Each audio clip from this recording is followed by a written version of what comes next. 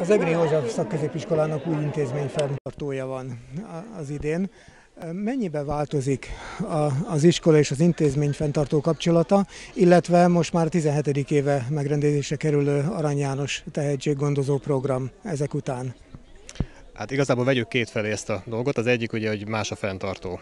Az új nemzedék központ, mint régi fenntartó kilépett ebből a dologból. E, nyilván ennek az egésznek az a lényege, hogy a szakképzés átszervezése miatt e, szakképzési centrumokat hozott létre a kormányzat, ami azt jelenti, hogy itt megyében, Veszprém megyében két e, központtal, az egyik az Veszprém, a másik Pápa.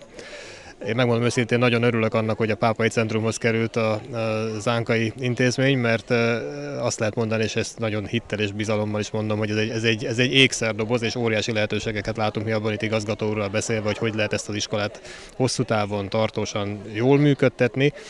Nem beszélve arról, hogy ez minden szempontból, én nagyon bízom benne, hogy a jelentkezési számokban is már megjelenik, tehát az itteni ide jelentkező diákok számában is megjelenik, hogy egy picit talán más lesz a mozgásterünk, tehát szabadabbak leszünk gazdasági szempontból. Ami az Arany János tábort illeti, azt kell mondjam, hogy egy fantasztikus dolog, hogy 16. éve már tehetséges gyerekeket tud fogadni egyrészt maga a tábor, másrészt maga az iskola. Ez egy, ez egy óriási dolog. Tehát azt a, azt a pluszt hozzátenni ezeknek a gyerekeknek a következő öt évéhez, hogy egy csodálatos környezetben, jó emberek között, csodálatos dolgokat megtanulva, megismerve indulhatnak neki a középiskolai éveiknek, ha lehet így fogalmazni, szerintem ez egy fantasztikus dolog. Tehát ha valaki így kezdi a gólyatábort, hogy eljön egy ilyen közösségbe, és itt egy, akár egy országos rendszerben kapcsolatokra tud szertenni, ez egy óriási dolog. Én ennek nagyon-nagyon tudom támogatni minden mozdanatát, minden pillanatát. És hát ahogyan a mostani 16. is mutatja, miután a szakképzési centrum ugye belépett a fenntartói feladataival ebbe a rendszerbe, igyekeztünk hozzá tenni a megfelelő forrást. Ez nagy mértékben köszönhető a Nemzetgazdasági Minisztériumnak is, aki maximálisan felkarolta ezt a az ötletünket, illetve hát ezt a feladatunkat, hogy tényleg tegyünk is meg mindent annak érdekében, hogy itt jó legyen a, a háttér, tehát ezzel ne legyen gond. Én nagyon bízom benne, hogy a, a igazgatónak az elején elmondottak, hogy a tábor azért jött létre, vagy úgy jött létre, hogyan létrejött, mert volt valamiféle anyagi háttér. Én bízom benne, hogy ennek tényleg pozitív kicsengése lesz, hogy valóban mindent meg tudunk tenni, minden egyes programpontot, és nem lesz semmi olyan gond, ami, ami miatt a fiataloknak ami hiányérzete lenne.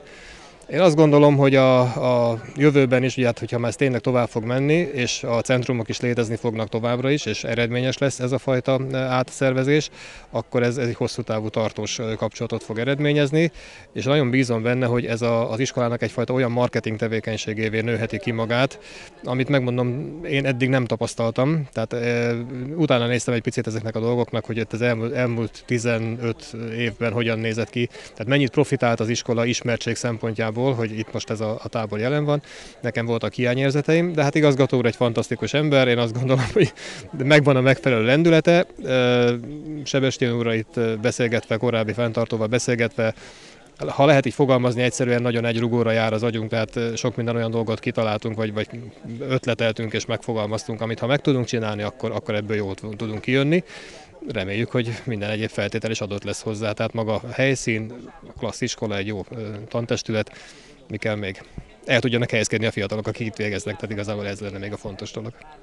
Az intézmény fenntartónak plusz munkát mennyibe jelentett ez? Tehát valami nagyobb felelősséget, esetleg másfajta hozzáállást, hogy a, egy új iskolát kell most még fenntartaniuk?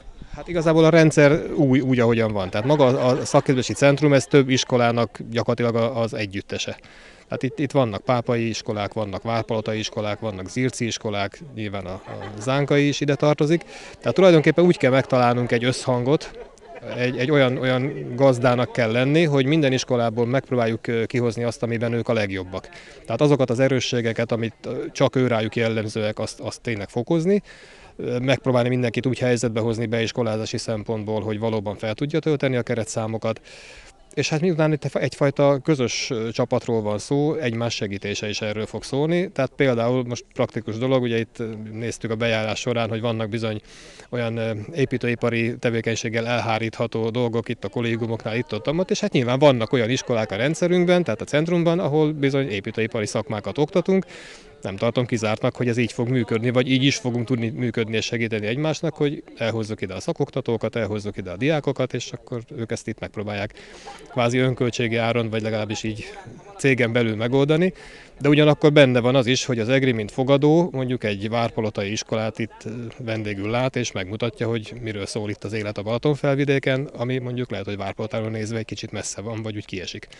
Plusz feladatot nem jelent, tulajdonképpen meg kell találnunk azt a fajta összhangot, hogy, hogy tényleg mindenki jól jöjjön ki. Tehát nem egymás ellen kell az iskolákat hangolni.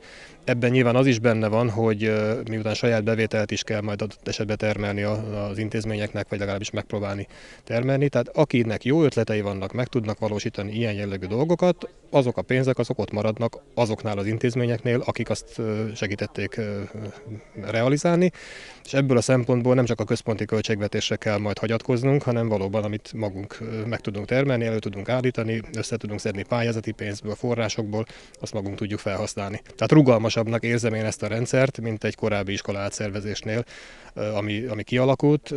Én azt hiszem, hogy ez, ez sokkal egyszerűbb és életszerűbb lesz. Tehát valóban az intézmények is érintettek abban és, és érdekeltek abban, hogy, hogy ezt, ezt úgy tudják működtetni, hogy a jó gazda gondosságával végezzék a napi munkájukat is. Bízom benne, hogy a pedagógus kollégák is ezt látják. Az első fizetést el tudtuk utalni, tehát ez már egy óriási eredmény volt. Én azt gondolom, hogy ez nagyon komoly háttérmunkával járt és ha lehet, akkor én ezt itt megragadva az alkalmat meg is köszönném egyrészt az iskola vezetésének, meg hát nyilván azoknak a kollégáknak, akik ebben segítettek és dolgoztak, mert ezt az egész közel 350-400 pedagógust, több mint 2000 diákot átvinni egyik rendszerből a másikba úgy, hogy ennek igazából a résztvevői ebből szinte semmit nem vettek észre, ez egy komoly feladat volt, és egy komoly összefogást igényelt, és tényleg napra készen, precízen, pontosan előkészítettek mindent, úgyhogy le a kalappal előttük.